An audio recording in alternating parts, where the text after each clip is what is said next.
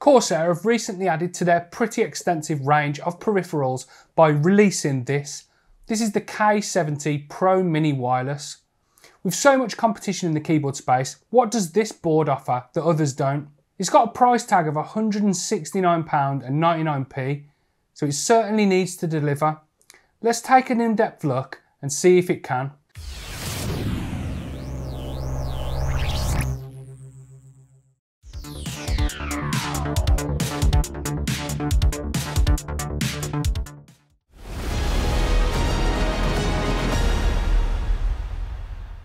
Hey guys, I hope you're all good. I'm Matt and welcome back to KitGuru for another review. This time around, I'll be giving you the rundown and my thoughts on the new Corsair K70 Pro Mini wireless keyboard. Let's kick things off with a quick unboxing. The box for the K70 Pro Mini is tiny. It's only just bigger than the keyboard itself and it's only just big enough for the keyboard and the accessories. And although I do like the small compact packaging, the protection that it's going to provide during delivery is a little bit of a concern. It's pretty standard stuff as far as the box itself goes, with the usual product pictures on the front, back, sides, everywhere, Corsair branding all over the box as well. There's also some brief information on the features, like being able to connect it to an Xbox, PlayStation and mobile, as well as PC and Mac. Once you open up the box, it reveals the K70 Pro Mini inside a plastic bag a bit more protection for the board would have been nice to see.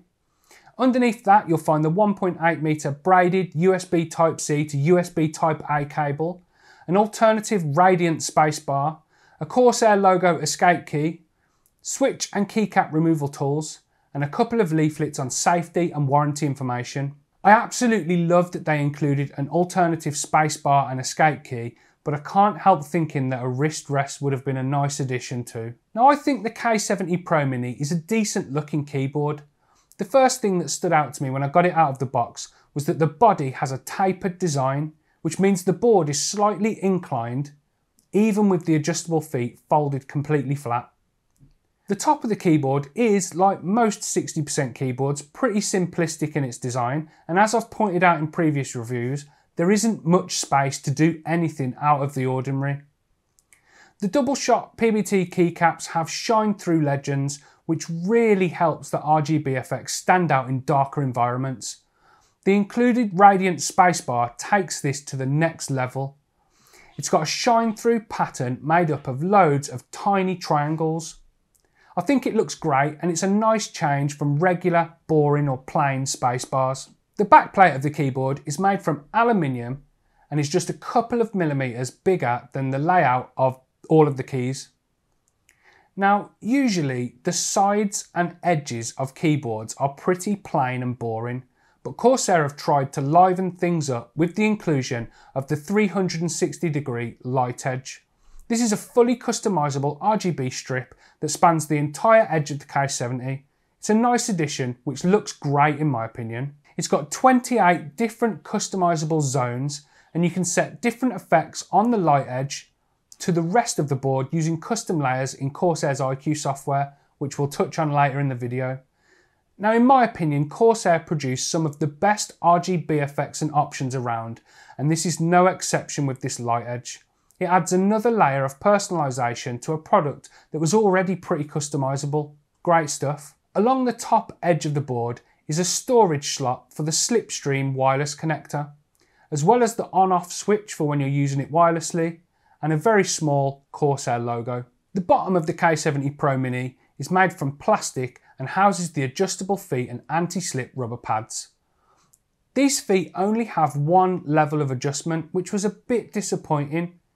I'd like to have seen two levels of adjustment available here at the least, and as I mentioned earlier, the keyboard does have a slight incline even when the feet are flat, so I can see why Corsair went with this design for the feet, but it wouldn't have been much trouble for them to include some which have a few different options for choosing out incline levels. The rubber pads on the bottom of the K70 Pro Mini ensure that the board is quite stable when it's sitting on my desk. It's never moved at all during my testing and that's been gaming, typing and just some general use. The RGB options on the K70 Pro Mini are quite extensive. Corsair's RGB system, as I mentioned, is one of the best out there and that's no different on this board. There are loads of presets available in iCUE from watercolour, rainbow wave, type lighting, visor, there's loads. And if you want to go even deeper, you can fully customize every single key individually and create complex lighting effects and save them to the various onboard memory profiles. There are even options to create different lighting setups for both wired and wireless mode, which is really useful if you want to create one that uses a little bit less battery for when you're going to go wireless.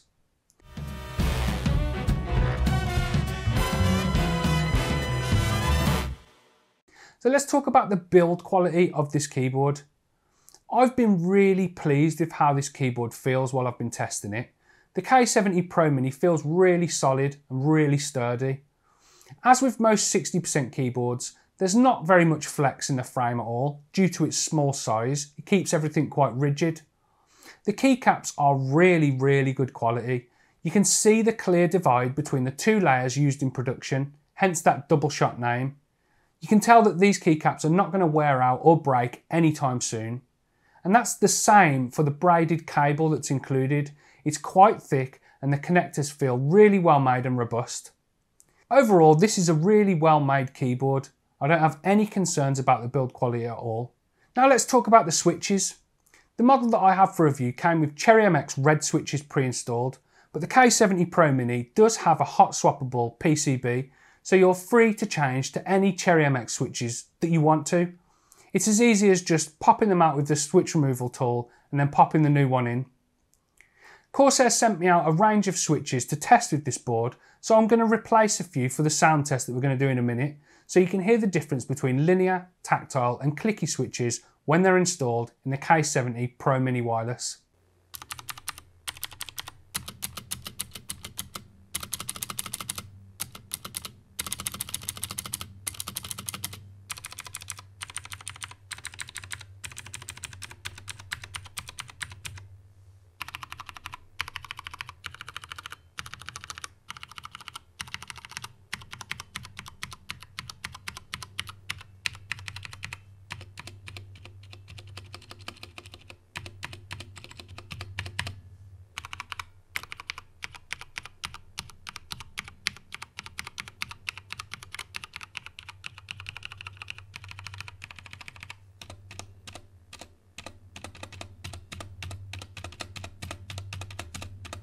And now that sound test is out of the way, I'm just going to go ahead and say it. The spacebar sounds awful. It sounds quite cheap. This keyboard costs 170 quid and the spacebar sounds like it's straight off of a budget keyboard. The other keys with stabilisers are marginally better due to their smaller size, but they still don't sound that great to me. If you were to couple the spacebar with a clicky switch, it gets obnoxiously loud and rattly. The non-stabilised keys sound okay, but the overall sound is seriously let down by the rattle on the other ones. And this keyboard does feature a standard bottom row, so you can change the keycaps for any Cherry MX compatible set that you want. This is a nice touch and it allows us more choice when customising our boards with an aftermarket set of keycaps for example. So now here's my thoughts on the connectivity and the battery life. The K70 Pro Mini is quite a versatile keyboard when it comes to connectivity. There are three options available Slipstream wireless using the included USB dongle, Bluetooth and then wired. Now let's talk about that wired connection first. When using the keyboard in this mode, the polling rate can be set to a maximum of 8000 Hz in iCUE, and the board uses Corsair's AXON technology to help process keystrokes as fast as possible. Now I've gained on both 1000 Hz keyboards and 8000 Hz keyboards and I've got to be honest, I can't really tell that much of a difference. But this is a hard spec to measure as it's mostly about feel, much like trying to show a high refresh rate monitor in action. Your results may vary and you might feel like the next shroud when you push up that polling rate to 8000 Hz though. Next there's the Slipstream wireless connection. This is the mode that I've used the most during my testing as I found it really convenient. It was always reliable and always provided a consistent experience. The only slight criticism I have is that when the keyboard is in standby mode, it can take a second for it to wake up before registering keystrokes. This was really noticeable when logging into my PC after it booting up. I'd have to press a button to wake the keyboard up, then wait a second before entering my PIN number to unlock Windows. The polling rate is locked at 2000Hz when using Slipstream wireless, and to me it feels no different to using the wired connection. which says a little bit about 8000 Hz in general and whether it's just a clever marketing gimmick. And finally, there's that Bluetooth connection. There are three separate Bluetooth profiles so you can connect up to three devices at the same time and then quickly switch between them using keyboard shortcuts. Connecting the keyboard via Bluetooth is easy, but there is quite a lot of noticeable input delay. So this isn't something I'd ever recommend if you're going to use the keyboard for gaming. It might be useful for connecting to a mobile device or a tablet though. The versatility is great, and although us gamers will probably never use the Bluetooth feature, it's definitely nice to see it included for anyone that needs it. The battery life when using the K70 Pro Mini has been pretty decent. Corsair state that the battery should last up to 32 hours. But there are a lot of factors that will affect that though. To hit the full 32 hours, you'd need to turn off the RGB completely and probably lower the polling rate all the way down to the minimum. During my testing, I found the battery life to be okay. I've had to charge the keyboard just once during about a week of use, with me averaging a few hours a day. And even then, the battery wasn't fully depleted when I put it on charge. I would love to give you exact figures, which leads to my only slight criticism I have is that the battery level indicator doesn't show an exact figure, and instead it shows the percentage left in the battery as either full, low, or high, for example. An exact percentage would be nice to see. I'm sure Corsair can add this in a future update to iCUE. And speaking of iCUE, let's look at it in a bit more detail. The K70 Pro Mini can be fully configured and customised using Corsair's iCUE software. I've owned several Corsair products over the years and I've always found iCUE to be decent, and that hasn't changed with my time with this keyboard. The user interface is clean and customising the board is quite simple. There are tabs for both software and hardware configured lighting and key assignments, so you can set the keyboard up, save everything to one of the onboard memory profiles, and then you don't even have to have iCUE running if you don't want to. That's a big, big plus from me. Giving us the choice between running software or not running software is brilliant. There's a tab in iCUE specifically for changing the indicator key colours and disabling certain keys and key combinations like Alt F4 for example, you can turn off the ability to rage quit from games. The device settings screen is where you'll be able to change the polling rate when using the wired connection. But in there you can also change the keyboard to a different language if you'd like. That's a really nice feature and will benefit any multilingual users of this keyboard. Now overall, iCUE is one of my favourite peripheral slash companion softwares. It's simple to use and now that Corsair products can be used with or without it, it's a great setup whether you like software or not. If you do choose to go with it, it's always been a great experience in my opinion. So in conclusion, my final thoughts on the K70 Pro Mini are a little bit mixed. On the one hand, it's a solid 60% keyboard, which is versatile, highly customizable, and it's backed up by really great software.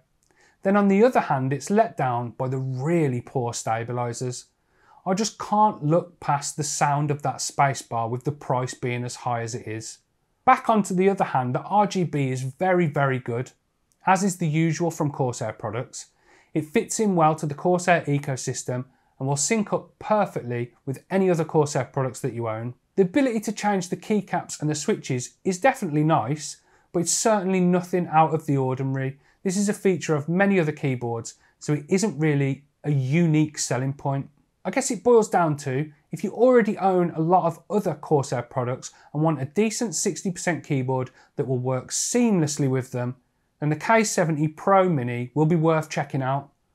If you're not bothered about the brand or you don't own any other Corsair products to sync up with it, and you just want a decent 60% keyboard, then there may be a few better options out there. That's the end of the video for today guys. I hope you enjoyed it. Please leave a like down below if you did.